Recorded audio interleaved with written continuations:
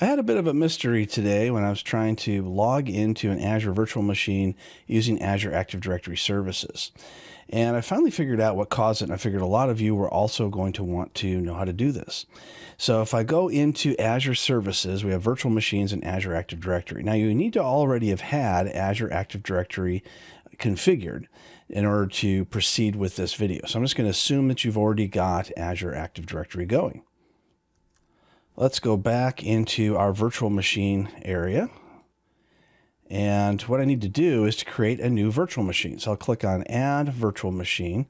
And there's a spot now to add so you can allow your Azure virtual machine to use your Azure Active Directory to log into it. Otherwise, you're just logging in using a local account, which may not be what you want. So you go through all the usual uh, places. I'm just going to put in some fake information here on setting up one of these until you get to management.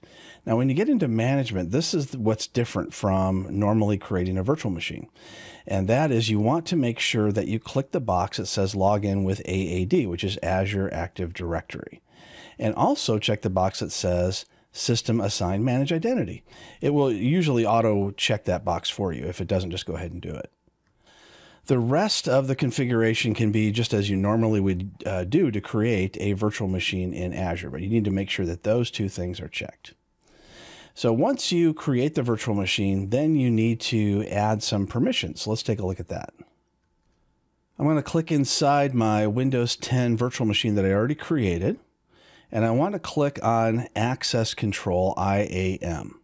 And here's where you give permission to log in using Azure Active Directory into your virtual machine. So you go to Add Role Assignment on the right hand side, and then you click on Select a Role. And we want to choose one of two different roles virtual machine administrator login or virtual machine user login. So, user login obviously doesn't have administrator rights, whereas the administrator login does. But for our first user, I definitely want to be an administrator login for virtual machine. Then you choose the name that you'd like to add in there. Just go ahead and leave the assign access to as it is because we want to choose a user. So if we scroll down and we find a user that we want, just go ahead and select that user and click save. Now that user has been given the ability to log in to your Azure virtual machine, but there's still more. And here's where the mystery comes in. So I'm going to go back into the root of my Windows 10 virtual machine. And I'll click on the connect button and that allows me to download a file for RDP or remote desktop protocol. So I'm going to choose to download that. And once I download this file, we see download RDP file. It's going to allow me to connect to this public IP address, which is how I reach my remote desktop server. So I'll click download RDP file.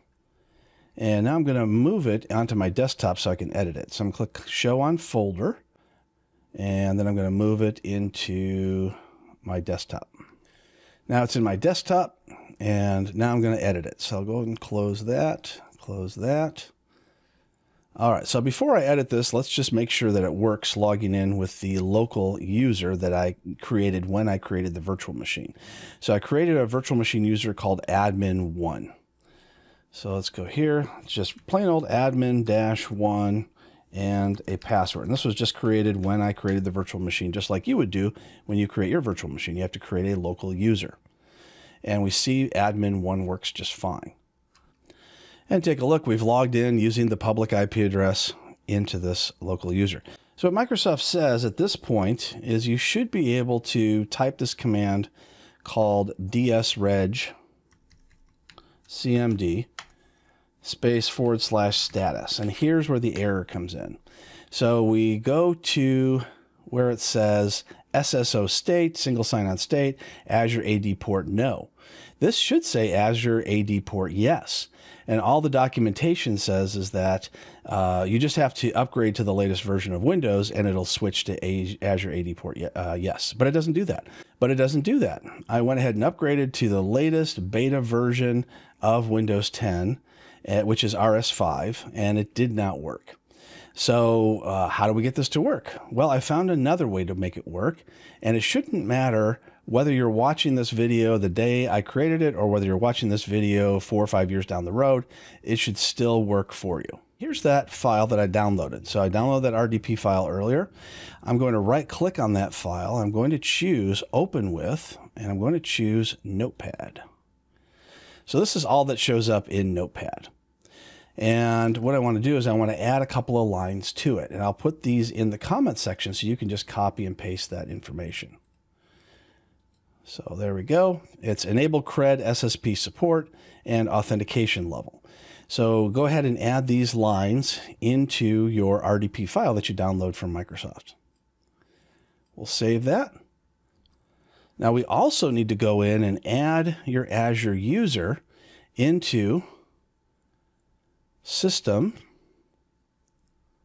Remote Settings, and then click the Allow Remote Connections to this computer. Uncheck Allow Connections only from computers running remote desktop with NLA. Then we'll click select users. Now I've gone ahead and added this command, which is why you see this. I wanted to show this to you, but uh, you won't be able to do that except by command prompt. So if I click add, you see the only location option here is Win10, which is the name of my uh, VM. The option for Azure Active Directory doesn't exist, even though it's Azure domain joined. How do I know it's Azure domain joined? Well, if I do that ds reg cmd command, it actually tells me it's Azure domain joined. There it is. Is device joined? Yes. And if I scroll up to the top just after I type the command, Azure AD joined? Yes. So that's not my problem. My problem is, is I need to be able to add my user into my remote desktop users group, but I can't do that as you see because it doesn't show my Azure Active Directory information. So what you're going to want to do is you're going to want to add a command since you can't seem to do it through the GUI into your command prompt, but you have to run it as administrator. If you don't run it as administrator, you will get a permission denied. And I'll put the command in the comment section for you so you don't have to worry about writing this down. Just copy and paste. So here's the command, net local group remote desktop users. So this is basically just allowing me to add this user into the remote desktop users group, which is going to be required. And then forward slash add Azure AD. Now it doesn't matter what the name of your Azure Active Directory is. You're going to want to put in Azure AD. In my case, my Azure AD domain name is Tech Publishing. That's irrelevant. It doesn't matter. Just put in Azure AD. Then you put in backslash and then the full email address, uh, which is whatever user you added into the IAM earlier in this video. Now I added admin one because I'd already added my uh, Robert at ClickX3 one, but you're going to want to add whatever you added into the IAM, uh, just as I showed you how to do it there, and you'll add that same user account here and hit error. Now I've already added this user in as you see, so mine's going to show an error, but yours is going to show that it's uh, created it successfully. So if you go back into uh, the remote settings and you see your user under select users, then you know you did this successfully. All right, so that part's all done. We are finally ready to log into our virtual machine as our Azure AD user. So using my edited RDP file with the CRED SSP information in it, I double click, I click connect.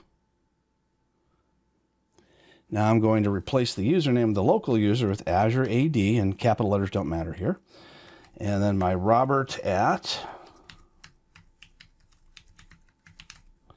Now, if you if your main domain on your email address is not the onmicrosoft.com, that's fine. Mine is is just that because I did not add another domain.